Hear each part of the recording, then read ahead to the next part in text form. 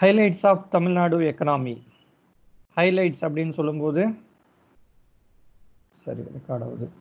Highlights of Tamil Nadu economy growth of state gross domestic product in Tamil Nadu has been among the fastest in India since 2005 2005ல இருந்து பார்க்கும்போது தமிழ்நாட்டினுடைய அந்த GDP growth state GDP growth என்ன இருக்கு?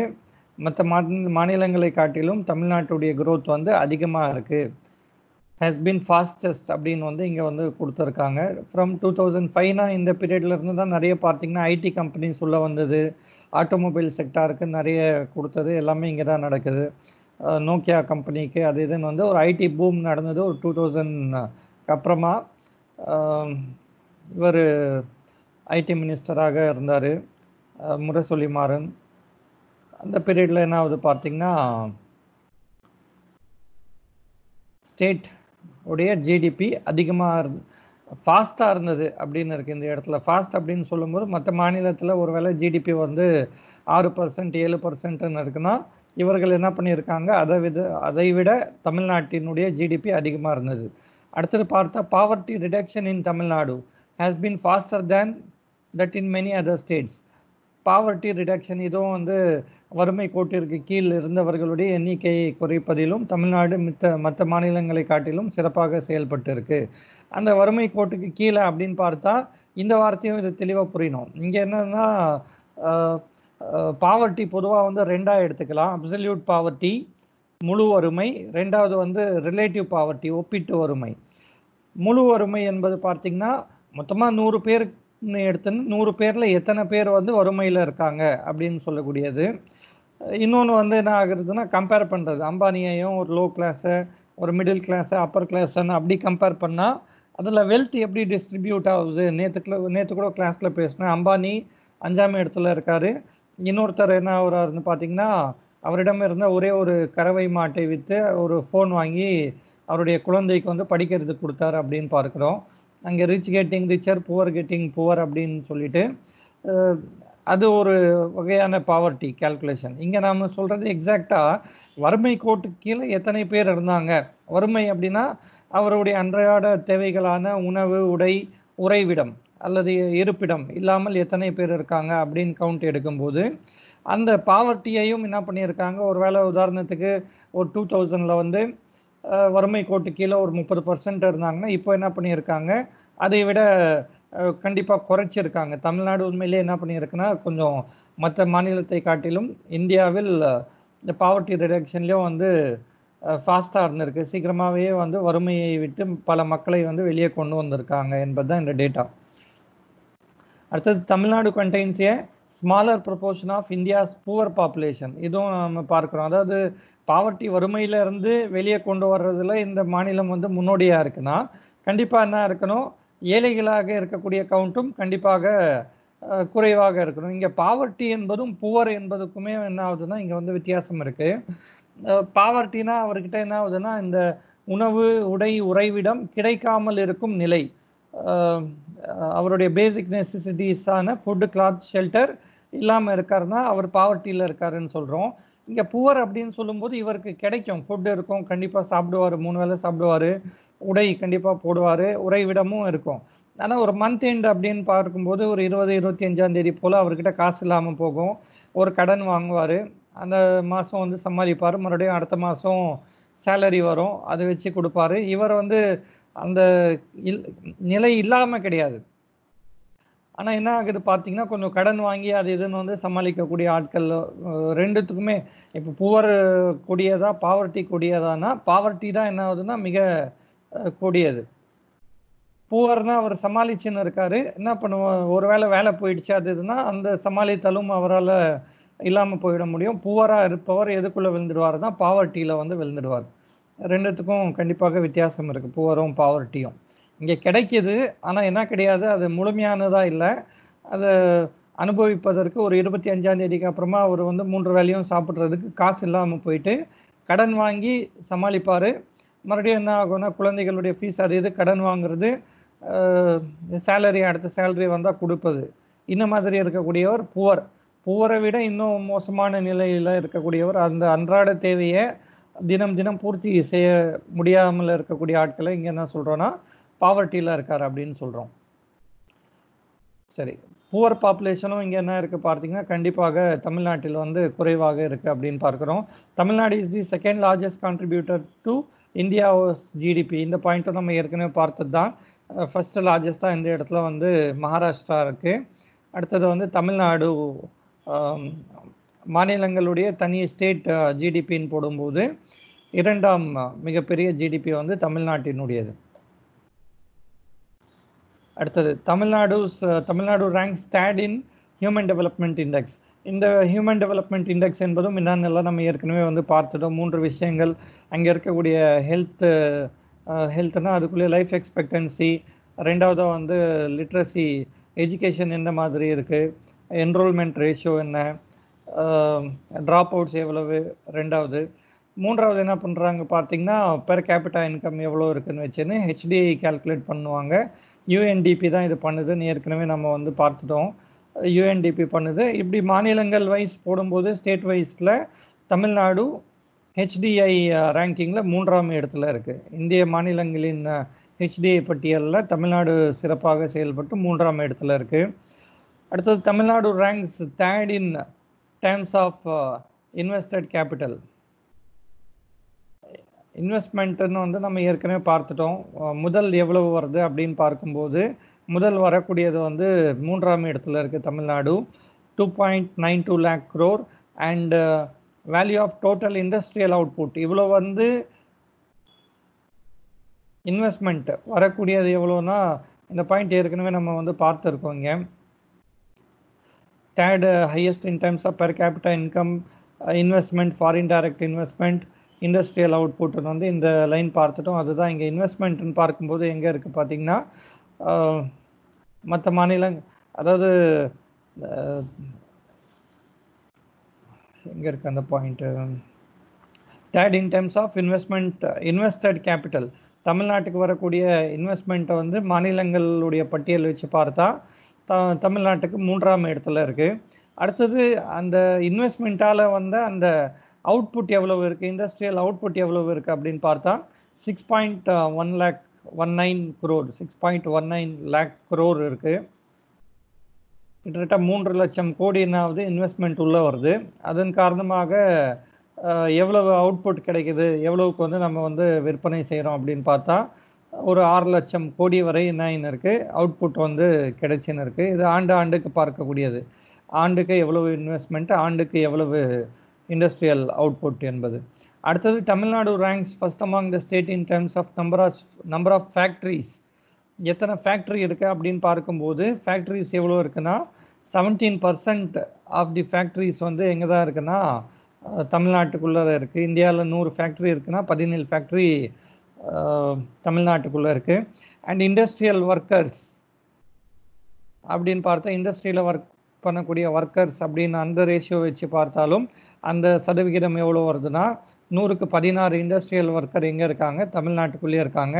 அப்படி பார்த்தா இண்டஸ்ட்ரியலி கண்டிப்பாக என்ன நமக்கு தெரியுதுன்னா இண்டஸ்ட்ரி ஏற்கனவே இருக்குது இண்டஸ்ட்ரியல் ஒர்க்கர்ஸும் என்ன ஆகுறாங்க தமிழ்நாட்டுக்குள்ளே அதிகமாக இருக்காங்க. ஆட்டோமேட்டிக்காக என்ன ஆகும் அவுட்புட் அதிகமாகும். இண்டஸ்ட்ரீஸ் மிக முக்கியம். நான் அந்த பாயிண்ட் ஏற்கனவே சொன்னேன். நம்ம அக்ரிகல்ச்சர்லேருந்து டேரெக்டாக சர்வீஸ்க்கு போயிருக்கோம். ஆனால் நமக்கு எதுவும் தேவைன்னா இண்டஸ்ட்ரீஸ் இருக்கணும். இண்டஸ்ட்ரீஸ் இருந்தால் தான் அந்த அக்ரிகல்ச்சர் உடைய அவுட்புட்டையும் நம்ம ஒழுங்காக ப்ராசஸ் பண்ணோம் அது இருந்தால் இண்டஸ்ட்ரீஸ் கண்டிப்பாக தேவை. ஒருவேளை இண்டஸ்ட்ரி இல்லைன்னா அக்ரிகல்ச்சுரல் அவுட்புட்டும் நம்ம பெருசாக வந்து யூஸ் பண்ண முடியாமல் போயிடும். சரி இந்த பாயிண்ட் வந்து இங்கே ஃபேக்ட்ரிஸ் எவ்வளோ இருக்குன்னா seventeen percent of factory share வந்து நம்மக்கிட்ட இருக்குது அடுத்தது ஒர்க்கர்ஸ் உடைய ஷேர் வச்சு பார்க்கும்போது பதினாறு percent Tamil Nadu is placed third in health index as per the NITI Aayog report NITI ஆயோக்கினுடைய அறிக்கையின்படி என்ன ஆகுதுன்னா ஹெல்த் இண்டெக்ஸ் சுகாதாரத்தை வச்சு பார்க்கும்போது தமிழ்நாடு இது இந்த ரிப்போர்ட் யார் கொடுத்துருக்காங்கன்னு தான் அதிகபட்சமாக கேள்வி கேட்க முடியும். தமிழ்நா தமிழ்நாட்டை நித்தி ஆயோக் எந்த இடத்துல வைக்குது? மூன்றாம் இடத்துல வைக்குது. ஹெல்த்தை வச்சு பார்க்கும்போது சுகாதாரத்துறை என்னுடைய பணியை வச்சு பார்க்கும்போது மூன்றாம் இடத்துல இருக்குது அவ்வளோதான் நித்தி ஆயோக் வந்து நமக்கு தெரியும். பிளானிங் கமிஷனை எடுத்துகிட்டு இப்போ என்ன பண்ணுறோம் நித்தி ஆயோக் என்கிற ஒரு அமைப்பு. National Institute for Transforming India NITI இந்தியாவை வந்து மாற்றுவதற்கான ஒரு புதிய அமைப்பாக நித்தி ஆயோக் வந்து உருவாக்கியிருக்காங்க. நித்தி ஆயோக் வந்து கொடுக்கக்கூடிய அந்த வருடாந்திர அறிக்கையில் தமிழ்நாடு மூன்றாம் இடத்துல இருக்கு. ஓகே. ஹெல்த்தை பொறுத்தவரை மூன்றாம் இடத்துல இருக்கு. ஹெல்த் இண்டெக்ஸ் அடுத்தது Tamil Nadu has a highest gross enrolment ratio in higher education இதோ நான் வந்து ஏற்கனவே வந்து பார்த்துருக்கோம் நம்ம முதல் ரெண்டாவது யூனிட்ல அதாவது பிரைமரி எஜுகேஷன் தான் என்ன பண்ணின்னு இருக்கோம்னா எல்லாருமே வந்து நைன்டி பர்சன்ட் செவன்ட்டி பர்சன்ட் அப்படின்னு சொல்லின்னு இருக்கோம் பட் ஹையர் எஜுகேஷன் ஒரு டிகிரி படிக்க போகணும் அது இதுனா இந்த இடத்துல என்ன பண்ணிடுறாங்க?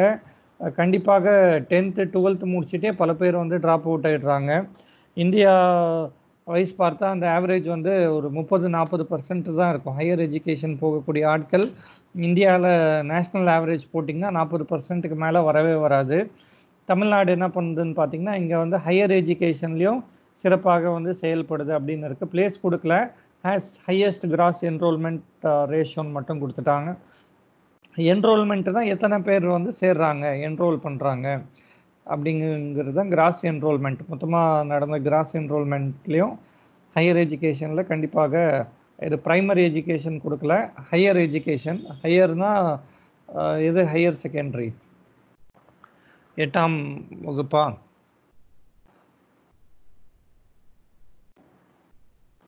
ஹையர் எஜுகேஷன் அடுத்தது Tamil Nadu has the loss largest number of engineering colleges இது தமிழ்நாட்டுக்கு கிடைத்த ஒரு வரமும் சாபமும் இதுதான் largest number of engineering colleges இந்தியாவில் எந்த மாநிலத்திலையும் இந்த அளவு கிடையாது. ஐநூறு அறுநூறு காலேஜ் வரைக்கும் நம்ம வச்சுன்னு இருக்கோம். ஆனால் இத்தனை காலேஜ்லேயும் வந்து நல்ல உருப்படியான இன்ஜினியர்ஸை தான் உருவாக்குறாங்களான்னா காசு இருக்கு. நிறைய பேர் காலேஜ் ஸ்டார்ட் பண்ணியிருக்காங்களே தவிர அங்கே இருக்கக்கூடிய ஸ்டாஃப்ஸ்க்கே வந்து ஃபஸ்ட் என்ன கிடையாதுன்னா முழுமையான அறிவு இல்லை. இப்போது கடந்த ஒரு நாலஞ்சு நாள் முன்னாடியே நீங்கள் தெளிவாக பார்த்தா அண்ணா யூனிவர்சிட்டி கீழே என்ன பண்ணியிருக்காங்க ரெண்டு காலேஜில் கம்ப்ளீட்டாகவே ஒருத்தர் கூட ஒரு பேப்பர்லேயும் பாஸ் ஆகலை அப்படின்னு சொல்லிட்டு இப்போ வந்துச்சு. ஒரு நாலஞ்சு நாள் முன்னாடி வந்து அந்த நியூஸ் வந்து யூடியூப்பில் சர்க்குலேட் ஆகின்னு இருந்தது பார்த்தேன். இன்னும் ஃபிஃப்டி பர் ரொம்ப மோசமாக தான் என்ன பண்ணின்னு இருக்கு. அண்ணா யூனிவர்சிட்டி கீழே இருக்கக்கூடிய காலேஜஸ் வந்து செயல்படுது. அவங்கள இன்னும் பார்க்கணும். நிறைய காலேஜ் ஓப்பன் பண்ணி விட்டது. நிறைய பேர் இன்ஜினியரிங் படிக்கணும் நிறைய இன்ஜினியர்ஸ் உருவாகணும்னு. ஆனால் இங்கே என்ன பிரச்சனை வருதுன்னா முழுமையான இன்ஜினியர்ஸாக தான் வெளியே வராங்களா அப்படின்னு பார்த்தா இது நான் படித்த காலேஜ்லேயே என்னாச்சு பிளேஸ்மெண்ட் ட்ரைனிங் போயிட்டு பிளேஸ்மெண்ட் ட்ரைனிங் ஃபைனல் இயர் பசங்களுக்கு எட்டாம் செமஸ்டரில் எலக்ட்ரிக்கலுக்கும் எலக்ட்ரானிக்ஸ்க்கு என்னப்பா வித்தியாசம் அப்படின்னு கேள்வி கேட்குறேன். பிளேஸ்மெண்ட்டு நானே எலக்ட்ரிக்கல் அண்ட் எலக்ட்ரானிக்ஸு என்னுடைய டிபார்ட்மெண்ட் பசங்க கிட்ட தான் என்னப்பா வித்தியாசம்? யாருமே ஒரு பையனும் ஃபைனல் இயரில் உட்காந்துன்னு பேச முடியல. எலக்ட்ரிக்கல் என்ன எலக்ட்ரானிக்ஸ் என்னன்னு சொல்ல தெரியல. அப்போ அவங்களுக்கு வேலை கிடைக்குமா? ஏதாவது கம்பெனி வந்து விரும்பி எடுப்பாங்களான்னா கேள்விக்குறி தான் இந்த இடத்துல. முழுமையான இன்ஜினியர்ஸாக இருக்கணும். ஐகன் வேல்யூ என்ன இது என்ன இது என்னன்னே தெரியாமல் என்ன பண்ணுறோம் அறகுறையான நாலேஜு இவர்களுக்கு பாலிடெக்னிக் பசங்களும் ஐடிஐ பசங்களும் எவ்வளோ பெட்டருங்கிற மாதிரி தான் போகுது. காலேஜஸ் நடத்தக்கூடிய ஆட்கள் மோசமாக நடத்துகிறாங்க புரிதல் இல்லாமல் போகுது பசங்களுக்கு. அதுதான் இங்கே பிரச்சனை. காலேஜஸ் இருக்குது அதனால தமிழ்நாட்டுக்கு பெருசாக பையனானா தெருவுக்கு ஒரு இன்ஜினியர் நாலு இன்ஜினியர் வந்துட்டாங்களே தவிர இதை வச்சு இன்னைக்கு வந்து பெருசாக சொல்ல முடியாது. முழுமையான இன்ஜினியர்ஸை வந்து உருவாக்கணும். அரசாங்கம் அங்கேயும் தெளிவாக பார்க்கணும். அடுத்தது Tamil Nadu has emerge as a major hub for renewable energy renewable energy பற்றியும் நம்ம ஏற்கனவே வந்து பார்த்தோம். ரினியூவபிள் அப்படின்னு சொல்லும்போது இது என்ன ஆகும்? கண்டிப்பாக ஒரு சைக்கிளுக்கு உட்பட்டு மறுபடியும் அந்த என்னது இந்த எனர்ஜி வந்து மொத்தமாக அழிந்து போயிடுமா? என்ன எதுனா சோலார் எனர்ஜியோ அல்லது ஹைட்ரோ எலக்ட்ரிசிட்டி இதெல்லாம் என்ன ஆகாது. கண்டிப்பாக பெரிய ஒரு பாதிப்பும் கொடுக்காம இருக்கக்கூடியது. இந்த ரினியூவபிள் எனர்ஜி ப்ரொடக்ஷன்லேயும் தமிழ்நாடு என்ன பண்ணின்னு ஒரு மேஜர் ஹப்பாக இருக்குது அப்படின்னு சொல்கிறோம் சோலார் எனர்ஜியாக இருக்கட்டும் அல்லது வந்து விண்ட் எனர்ஜி எல்லாம் கூட பார்த்திங்கன்னா சதன் தமிழ்நாட்டில் கண்டிப்பாக கோஸ்டல் ஏரியாஸ் இந்த கீழே கன்னியாகுமரி தூத்துக்குடி எல்லா இடத்துலையும் என்ன பண்ணி நடக்கும் நிறைய விண்மில்ஸ் வச்சுட்டு அங்கேயும் வந்து எலக்ட்ரிசிட்டி வந்து உற்பத்தி பண்ணி நடக்கும் ரினியூவபிள் எனர்ஜி அதாவது நம்ம நிலக்கரியையோ யுரேனியத்தை தோரியத்தை வந்து நம்பாமல் இயற்கையாக கிடைக்கக்கூடிய காற்றை வச்சுன்னு சன்னுடைய அந்த சோலார் எனர்ஜி வச்சுன்னு எடுக்கக்கூடியது. ரினியூவபிள் எனர்ஜின்னு சொல்கிறோம் இந்த மாதிரி நம்ம என்ன பண்ணின்னு இருக்கோம்? ஆல்டர்னேட் சோர்சஸ் ஆஃப் எனர்ஜிக்கு போயின்னு இருக்கோம். அதாவது ஒரு வேளை நாளைக்கு என்ன ஆகலாம்? கண்டிப்பாக நம்மக்கிட்ட நெய்வேலியில் இருக்கக்கூடிய லிக்னைட் வந்து தீர்ந்து போயிடலாம்.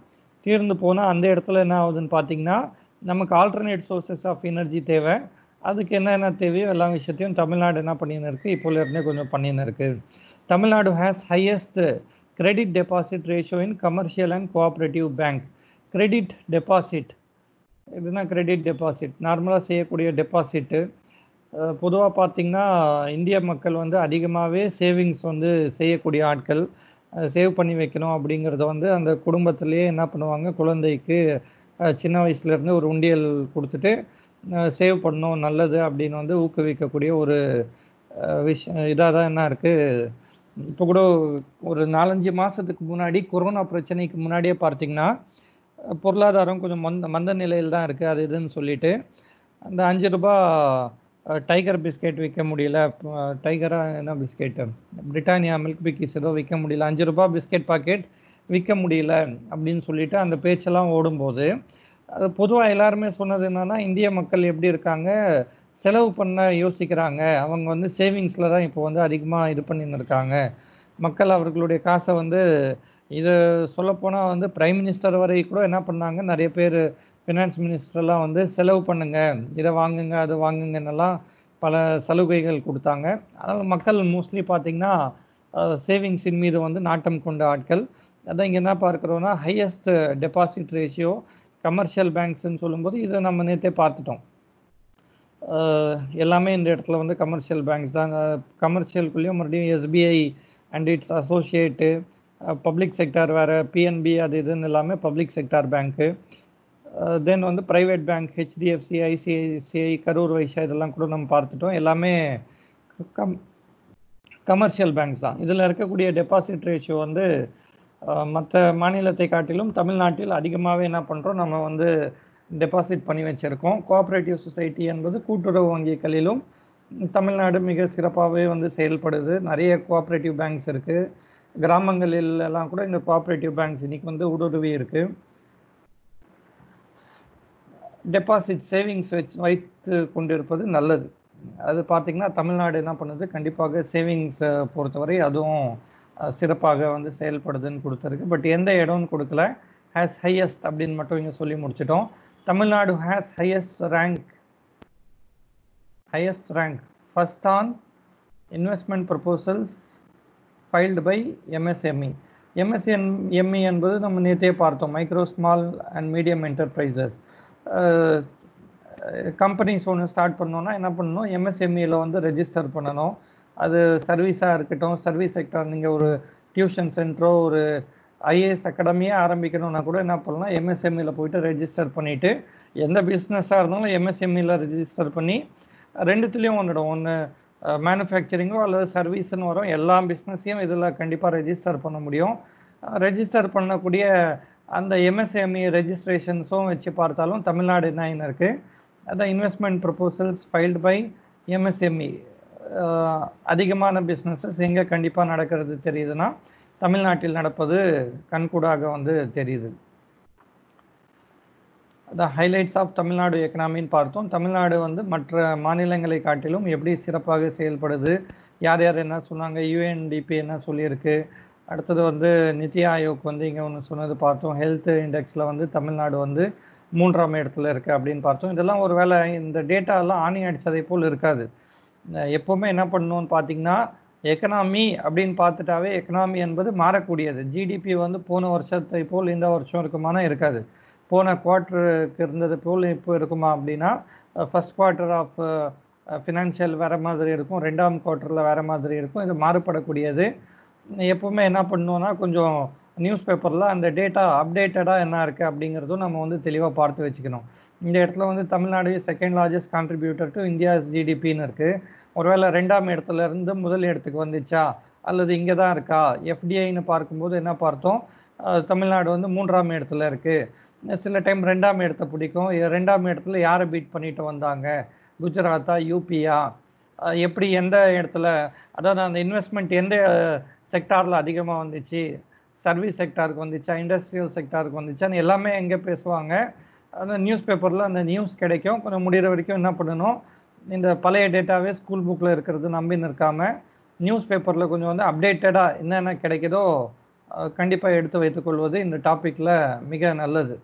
ரினியூவபிள் எனர்ஜி அது இதுன்னு எதை பார்த்தாலும் இங்கே ஒரு பாயிண்ட் எப்படி இருக்குன்னா எல்லாத்தையுமே என்ன பண்ணணும்? லிங்க் பண்ண தெரியணும். முதல் யூனிட்டில் இப்படி இருக்குது இதில் இப்படி இருக்குது நம்ம மறுபடியும் சயின்ஸில் படித்தா ரினியூவபிள் எனர்ஜி இங்கே இருக்குது இதில் இந்த பாயிண்ட் இருக்குதுன்னு சொல்லிட்டு எல்லாமே முடிஞ்சால் லிங்க் பண்ண பாருங்கள் அதுதான் ஹைலைட்ஸ் என்பது முடியுது. மறுபடியும் performance of uh, Tamil Nadu economy இந்த டாபிக் பார்க்கலாம். ஏதாவது டவுட் இருக்கப்பா